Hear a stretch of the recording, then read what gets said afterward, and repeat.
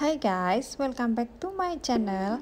Dan hari ini saya akan memasak resep MPASI anti GTM yang super lezat dan bergizi pastinya. Dan resep ini bisa disebut dengan risotto. Dan saya memasak resep ini dari anak saya umur 8 bulan Dan hingga sekarang masih menjadi favorit number one dia. Oke, seperti biasanya bahan-bahannya sudah saya siapkan.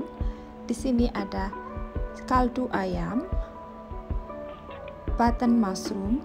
Button mushroom ini kalau bahasa Indonesianya kalau nggak salah jamur kancing ya.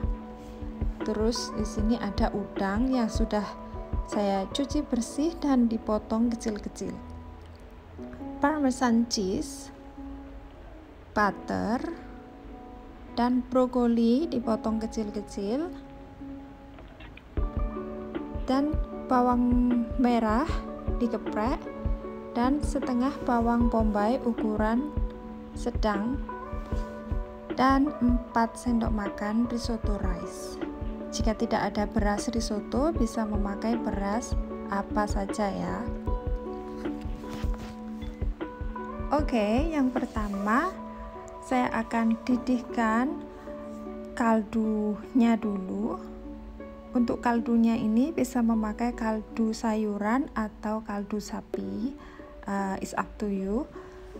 Terus selanjutnya untuk memasaknya bisa memakai wajan teflon atau panci. Dan lelehkan butternya.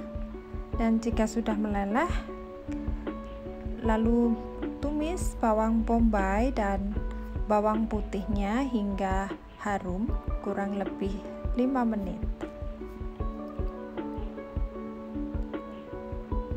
Dan setelah bawang bombaynya layu atau harum kita masukkan jamurnya dan tumis hingga jamurnya layu Nah, untuk camurnya ini saya memang memakai agak banyak karena anak saya uh, suka sekali makan jamur dan memotongnya agak besar-besar karena dia sudah umur satu tahun lebih. Dan bagaimanapun uh, untuk memotong bahan-bahannya ini sesuaikan aja dengan kebutuhan bayi masing-masing atau kemampuan bayi mengunyah makanan. Dan buat kalian yang baru gabung di channel saya, welcome untuk semua resep MPASI dari umur 6 bulan hingga 1 tahun.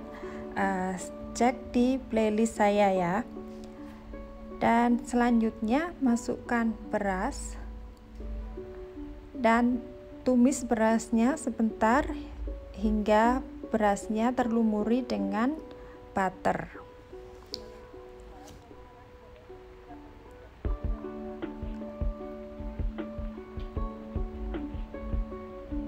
Dan untuk berasnya ini bisa memakai beras apa saja. Dan saya suka memakai beras yang beda-beda.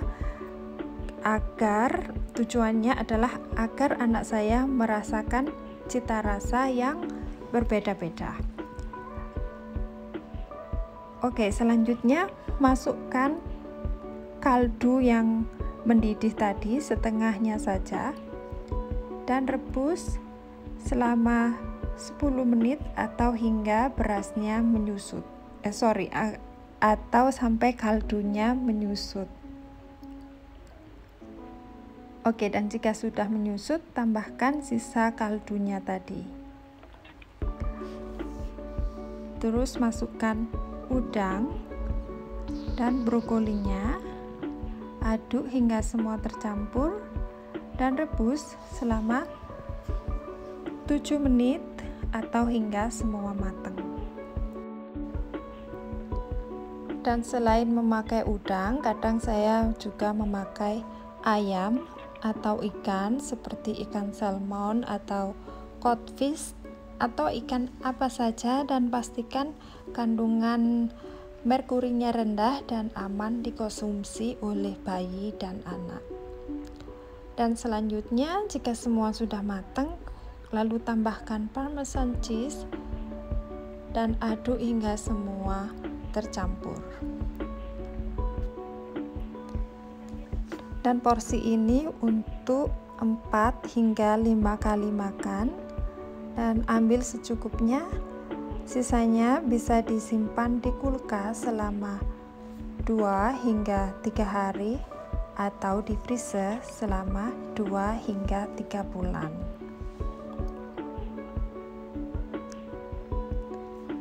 Oke okay guys, sekian saja video hari ini. Selamat mencoba dan semoga bayi atau anak kalian suka dan tinggalkan komen jika ada pertanyaan dan semoga video ini bermanfaat. Jangan lupa subscribe dan share agar tidak ketinggalan video-video yang terbaru. Oke, sampai di sini. Terima kasih sudah menonton dan sampai ketemu di video-video berikutnya. Bye bye.